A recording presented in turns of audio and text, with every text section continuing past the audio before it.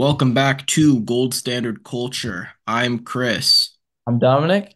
Uh, we're this is the Culture Cast. This is our NBA podcast here on Gold Standard Culture. Uh, Dominic's a part of In the Moment Hoops, also in YouTube. Uh, his link will be in the description, so if you want to check out his stuff, that'll be linked below. The playlist for this podcast will be linked below, updated regularly. So if you want to go check that out, cover all things basketball, go ahead and uh go ahead and take a look. Bucks hire uh, Doc Rivers the day after firing him. Yeah. Literally every this was a shock to nobody. Right when they fired Adrian Griffin, everyone was like, "Yeah, they're gonna go get Doc Rivers," and so they did.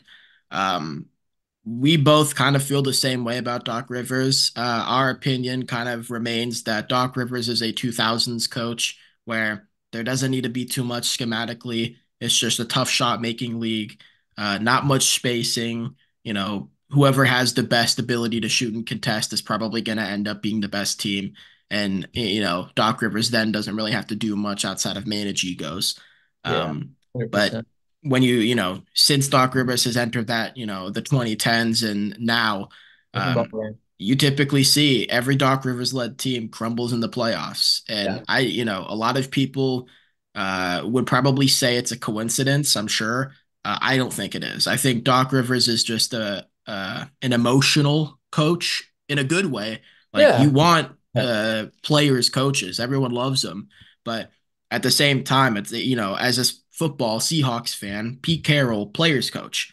Pete Carroll schematically stuck in the 90s. It, his scheme does not work in today's NFL, but he wouldn't switch. He was stuck in his ways. Doc Rivers is kind of the same kind of guy.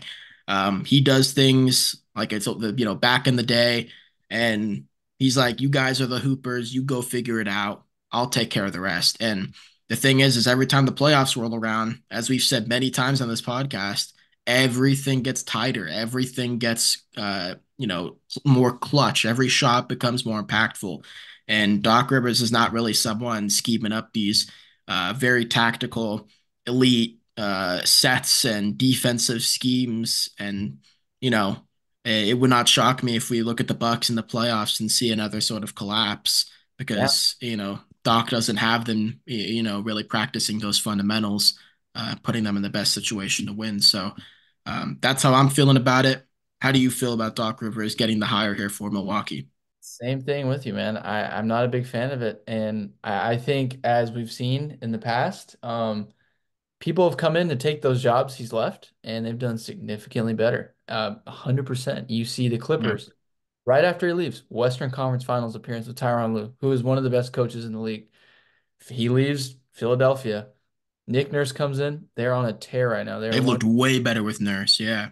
They're significantly better. You look at Boston, and maybe that's one that's a little different because Brad Stevens got into a really weird period with that team because Kevin Garnett, Paul Pierce were gone. They were on the Nets. But Brad Stevens came Yeah. in did a phenomenal job as well. I, I can't Yeah. he. Was a great coach for a bit. And I just think every time this guy leaves, good stuff comes. It, it's really, it's really interesting. And I don't see you can look at it as a coincidence three separate times. Uh, I definitely think 2020 in the bubble is the perfect example of Doc Rivers collapsing. Uh, they Yeah.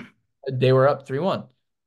Nuggets adjusted, pace was a lot faster, and they came back and they won the whole thing. They literally they won the series. And I think that was 100% on Doc.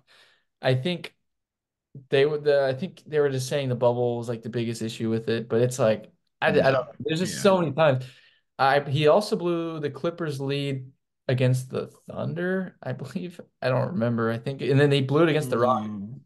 Yeah, Rockets they've every team they've pretty much like they've it's like, blown oh, they've got a chance or oh, they're Yeah. winning and then it's like, oh, no, they're not, you know. Yeah, yeah, yeah, exactly. It's like those Lob City Clippers, man. They they never could get past really big things. They they, they were up 3-1 against James Harden and was it oh man, Josh, what's his name? I can't Smith, yeah. Josh Smith, yeah, game seven, and he murders them for like 27 and a quarter, and Yeah. That's it. Your playoffs are gone. And it's like it's just insane that like stuff like that's happened so much with this one guy. Now, Boston, I can't think of too many collapses in the playoffs. Uh, not really. I mean, they played the Heat. I can't really dock them too much. That Heat team's obviously one of the best teams ever, but It's hard to say, man. There's just a lot of coincidences. I'll say over the last 10 years, there's a lot of coincidence, like a lot of interesting stuff going on with him as a coach. So I'm not, as of as of right now, I'm not a fan of this whatsoever for Milwaukee. Yeah, it's you know, it's just that again, it's like you you really see in the playoffs, you know, just because you're you're able to kind of handle egos and manage that, that's not all that coaching is. It's like Yeah. you know, Adrian Griffin might have all the fancy new age, you know, heavy wing uh wing dominant sets that take away the three, which is the most impactful shot in the game right now. But it's like there's more to coaching than one thing. That's coaching something where you have to be spread pretty thin, uh, or not pretty thin, but pretty wide, Yeah. and you know cover a lot of ground with a lot of stuff. And um, Doc Rivers just isn't that. Doc Rivers may be spread pretty wide when it comes to emotional leadership, but uh, you, you know X's and O's every year, it just goes to shit every single season. He can't get over the hump. And again, like you go back when uh, into 2008, sure. You know, they had Paul Pierce, still Yeah. kind of prime Ray Allen and prime Kevin Garnett. What are we talking about here? You Yeah, know, exactly. for them, that's like for that era, that's like KD Warriors. So Exactly. Yeah. it's one of those things where it's like, sure, we could sit here and say, okay, you know, look at look at Steve Kerr out here, you know, coaching up a storm, but it's like at the end of the day, well, Who you know, this team?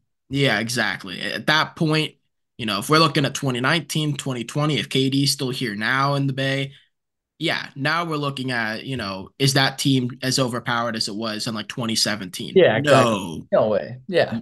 But back then, 100% was nobody had a counter. Nobody could still counter the the Warriors without Kevin Durant. So, Exactly. uh, well, granted, Cleveland did, but you know, whatever.